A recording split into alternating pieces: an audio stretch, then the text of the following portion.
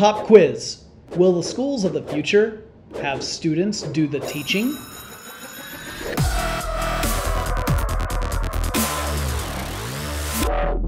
You know, a few weeks ago we asked you guys what subjects you'd like us to tackle here on Forward Thinking, and a lot of you said education. And since students are back in class, I thought it's the perfect time to revisit this topic, which is a tricky one because we humans come in a lot of varieties.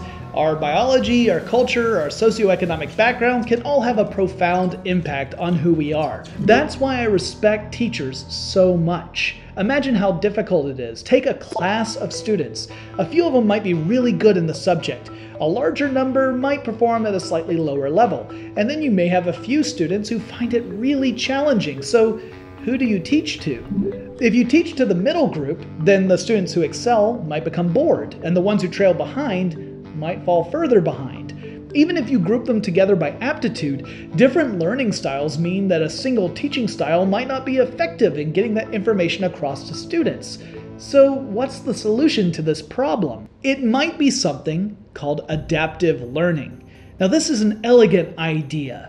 It's a teaching model where your style, the lesson duration, the, the difficulty itself can vary depending upon a student's needs and abilities. It would be like every single student having their own personal teacher that can anticipate problems and make sure a student grasps subject matter and overcomes any obstacles. And you're probably not going to be surprised that it involves a lot of computers and artificial intelligence. We're talking about complex algorithms that can study the way a student performs, and if a student begins to struggle, it can adjust the lesson accordingly. This is what makes it amazing. Not only are students going to learn from computers, computers are going to learn from students. This algorithm can adjust so that it finds the most effective way to teach a student and then continue to evolve as the student goes through class.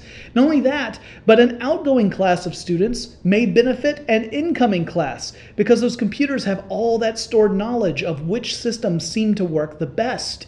It's a self improving educational system. Now, I'm not saying that computers are going to replace humans. I don't think that's ever going to happen. I think adaptive learning will augment what teachers do in the classroom already, and it might help alleviate some of the stress and frustration a kid feels when they see that other people are grasping the subject and they're still struggling. I know this would have been helpful for me back when I was in school. Stupid calculus. All right, I have a question for all of you this week. What do you think the school of 2050 is going to look like? Let me know in the comments below. And if you enjoyed this video, make sure you hit like and enroll in Forward Thinking University by subscribing to the channel. Then, check out these videos over here for extra credit.